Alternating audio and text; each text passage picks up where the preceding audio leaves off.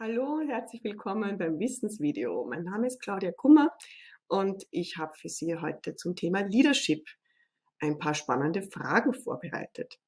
In den letzten Wochen waren einige Beiträge von Ihnen im Forum, die sich so mit der Frage, wer ist, was ist ein guter Leader auseinandersetzen. Zum Beispiel von Nadia. Sie antwortet an Monika. Ähm, Monika, die enttäuscht war, dass na, laut den Lernunterlagen Chefinnen und Chefs äh, Leaderqualitäten haben sollten und die das aber in ihrem Umfeld nicht wiederfindet. Und Nadia sagt, ja, das stimmt und man kann es nicht im Seminar alleine lernen, sondern es braucht positive Grundeinstellungen. Da bin ich voll bei Ihnen, Nadia.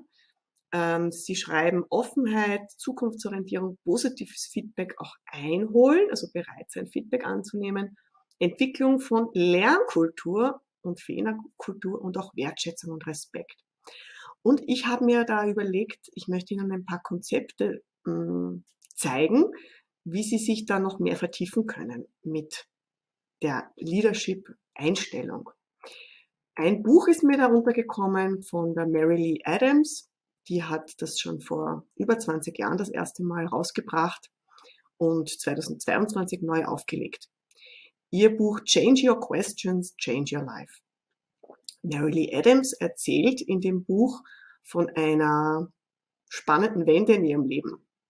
Sie war Musterschülerin und hat auf der Uni einem ihrer Professoren wieder mal eine super Arbeit abgegeben. Und da hat sie sich ein Lob dafür erwartet und stattdessen hat sie gehört, this is just not acceptable. Und in dem Moment hat sie plötzlich innegehalten und bemerkt, dass sie beginnt, sich ähm, negative Fragen zu stellen. Bin ich schon wieder nicht gut genug? Wieso schaffen es die anderen und ich nicht? Was habe ich diesmal falsch gemacht? Und in dem Moment, wo sie sich bei diesen Fragen äh, ertappt hat, hat sie ihren ganzen, ihre ganze innere Stimme plötzlich klarer beobachten können und hat gemerkt, dass sie sich dauernd Fragen stellt, die sie kleiner machen. Und dass die Fragen, mit denen sie aber ins, ins Leben gehen möchte, ähm, eine positive Zukunft voraus, also gestalten sollten. Und dieses Question Thinking unterscheidet auch äh, einen Lernmindset, das Leader brauchen, also das zu Leadership dazugehört, von einem Jaja-Mindset, also etwas einfach nur bewerten. Was unterscheidet jetzt diese zwei Mindsets? Ja, ähm, also die Fragen, die man sich in den beiden Mindsets stellt, wenn man jetzt beurteilt, bewertet oder ein, eine Lerneinstellung mitbringt. Ja, etwas ist gegeben, es liegt in der Natur des Menschen mm, oder es äh, betrifft eben den, die Geisteshaltung des Menschen. Human Nature versus Human Spirit. Advocating oder Inquiring. Ähm, ich verteidige etwas, zum Beispiel, ähm, wie kann ich ihn oder sie im Gespräch jetzt überzeugen, dass meine Haltung die richtige ist, dass wir die Budgetkürzung machen müssen. Oder ich stelle, mich, äh, ich stelle mir die Frage, hm, was könnte gut sein daran oder warum möchte die andere Person das Budget aufstocken?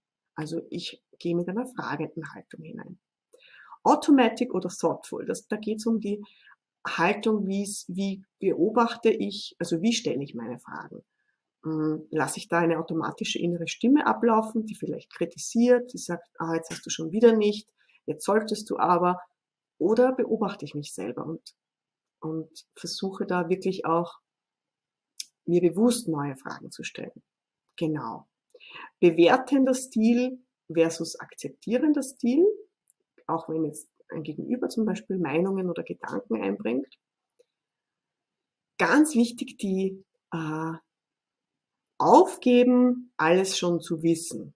Ja, know it already, sagt sie. Ja, das sind diese Haltungen, wo die Menschen sagen, ja, ja, das haben wir immer schon so gemacht. Ja, oder äh, eh klar, jetzt will er mir erzählen, dass äh, der Hund die Hausübung gefressen hat oder so. Ja, na, bewusst innehalten und schauen, ich weiß es nicht, ich kenne die Person nicht, ich weiß nicht, was das bedeutet, was du mir jetzt sagen willst. Ich höre dir mal unvoreingenommen zu.